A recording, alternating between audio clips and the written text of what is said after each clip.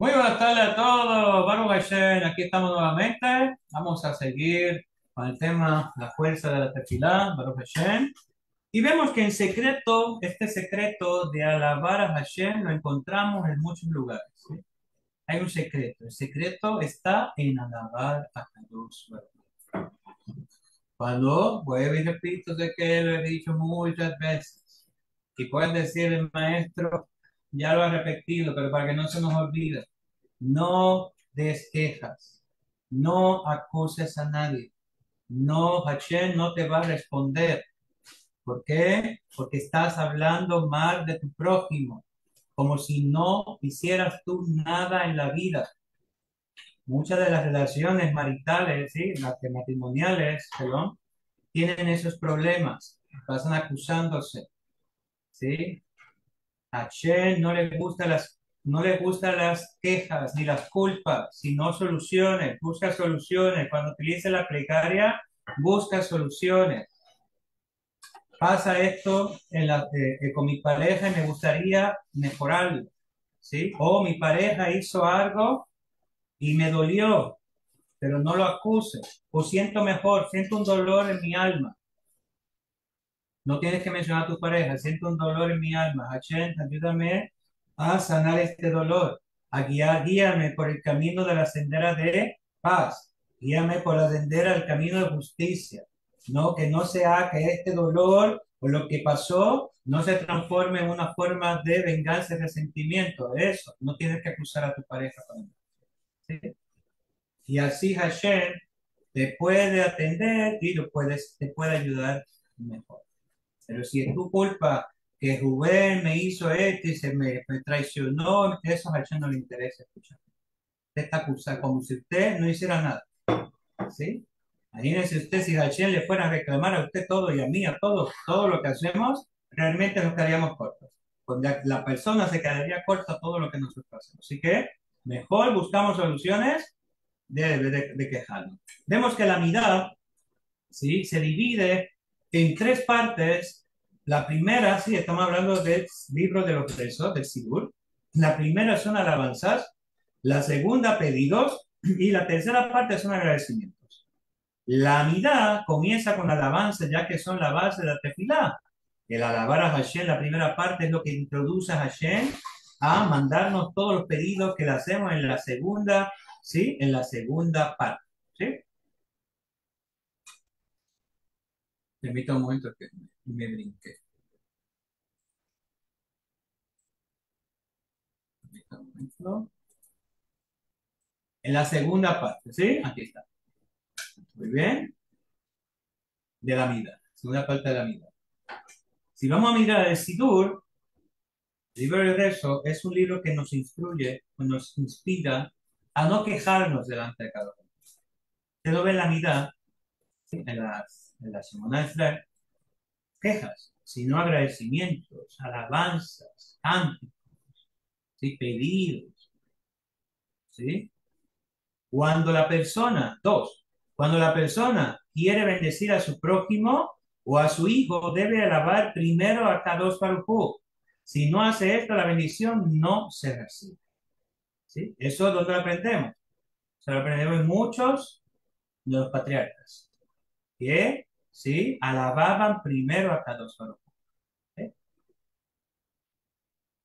Así acostumbraba a hacer el famoso girar quien ponía su mano en la cabeza de la persona que iba hacia él para pedirle una braja y luego alababa a Dios y decía Ibarach Shemo Shel Akadosh Baruch. Bendito sea el nombre del santo, bendito es. Y hasta después daba la braja. Tres, todas las brajas, ¿sí? pero todas las brajot de peticiones en la mitad comienzan con alabanzas para Hashem. Así que por esto es para que la petición tenga fuerza de recaer por medio de la alabanza. No hagas como muchos, ¿verdad? Muchas personas con bajo, ¿verdad? Que están ignorantes de cómo hacer plegarias. Y lo primero que van es delante de su Dios y acusar. ¿Cuántos padres no acusan a sus hijos?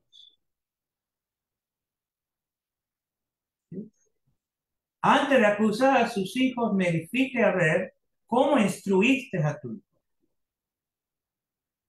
Si instruiste a tu hijo de una forma equivocada, no hay justificación de que te acuse. ¿Por qué? Porque no lo instruiste.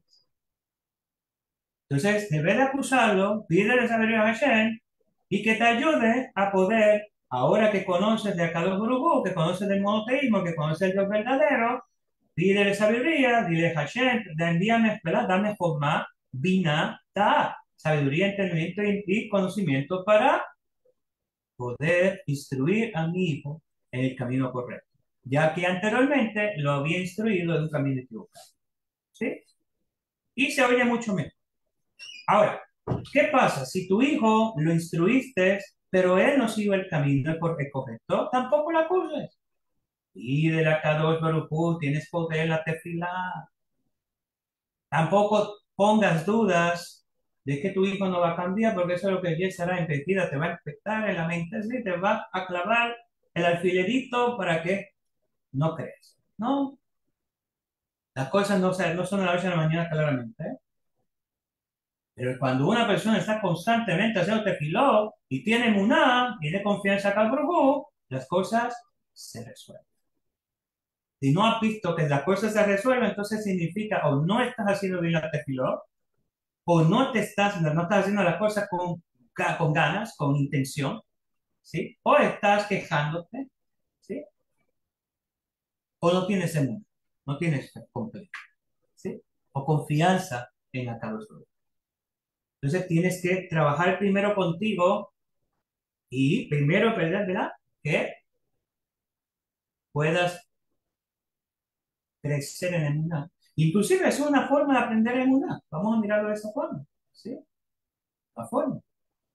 Inclusive es una forma para aprender a rezar. ¿sí?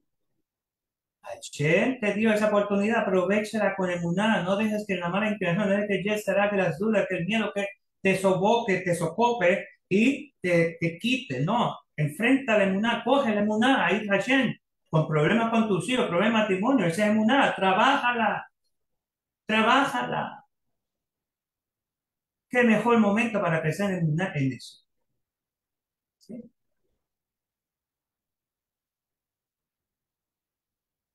Lo mismo lo vemos en el pasú de Potea ella deja un masvía mejor razón.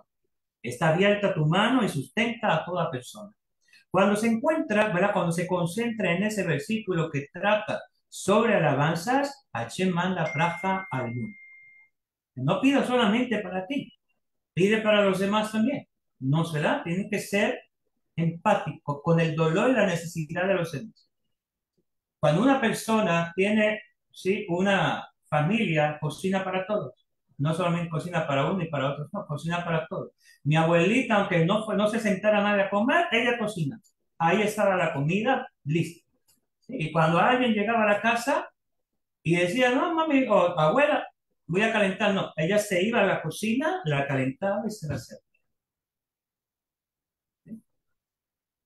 Qué hermoso eso, esos abuelitos, ¿verdad? Que realmente eran esforzados y ¿sí? muchos extraños. Mi abuelita este lunes hubiese cumplido no sé cuántos años, ya casi 95 años. Me murió en el 14 y el 21 en su Yosai. Bueno, pues, así que dicen, por último, dicen los hajamim, los sabios, que una de las mejores segulot para no enfermarse durante toda la vida es decir, Asher Yazda, con mucha concentración. Si analizamos la braja, no, está, no estamos pidiendo salud ni larga vida ni que no, se, ni que nos, ni que no nos enfermemos, sino que decimos una braja con alabanza a No porque hagas agradecimiento, no porque hagas braja, no significa que no te vayas a enfermar. ¿Sí? No porque tengas emuná, no significa que las cosas vayan a todo el tiempo. No significa porque tengas confianza en grupo, no significa que no te vayas a tropezar, ¿sí? Pero puedes enfrentar lo que estás viviendo mucho mejor. Más preparado, con mejor sabiduría, con mejor conocimiento, con mejor entendimiento y entonces ahí se fortalecen las herramientas que necesitamos. Vemos que el hecho de alabar a Kadosh Baruj es una manera de recibir todas las. Usted toma, toma una botella de agua, dele gracias a Kadosh Si come, dele gracias. Si se cae, le dé gracias. Si se levanta, dele gracias. Si está triste, dele gracias. Si está en necesidad, dele gracias. Si está en abundancia, dele gracias. Abra su corazón.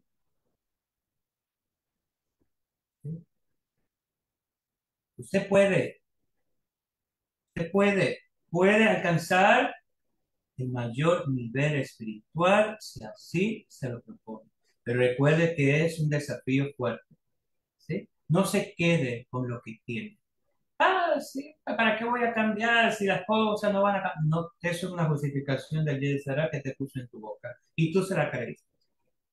No necesita el mundo cambiar. Tú puedes cambiar, ¿sí? O, tú mismo.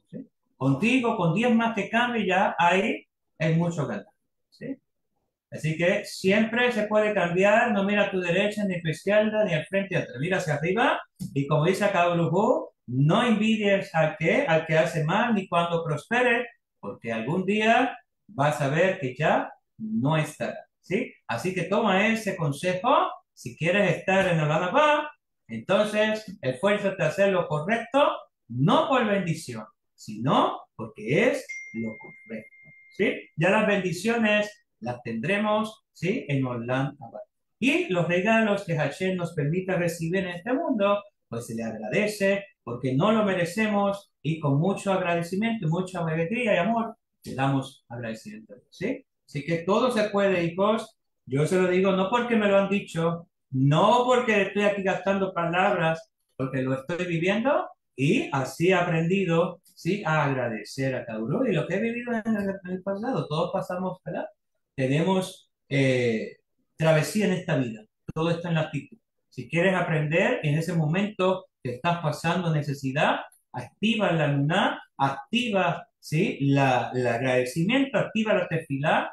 No le digas a Dios, te entiende, nada de queja, pídele sustento, hay una plegaria de sustento, ¿sí? Y que Hashem te bendiga, cumpla los deseos de tu corazón y te llene cada día de más espiritualidad, que puedas crecer más en nada, que sigas hacia adelante y que sigas agradeciendo a cada grupo, aunque no tengamos las fuerzas para hacerlo.